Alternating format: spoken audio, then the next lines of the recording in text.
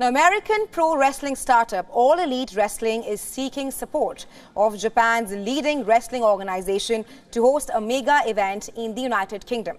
This comes as the AEW seeks to step up its game against World Wrestling Entertainment, which for decades has maintained hegemony in the pro wrestling industry.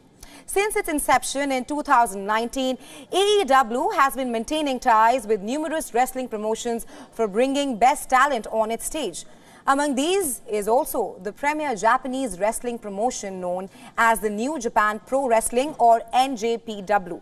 But now, the need for roping in the best wrestlers is even larger for AEW, as it is set to host its largest event ever in the city of London in August. Popular games like Jon Moxley and Chris Jericho are scheduled to perform in the show. Around 65,000 tickets have already been sold for the event and AEW seeks to sell even more to ensure that the 90,000-seater stadium goes house full.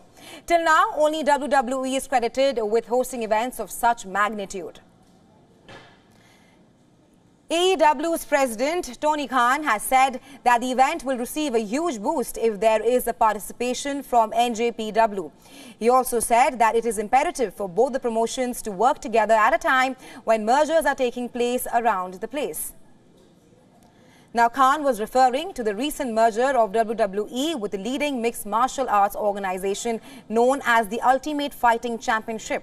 The two organizations in April agreed to work together to create a $21 billion entertainment giant.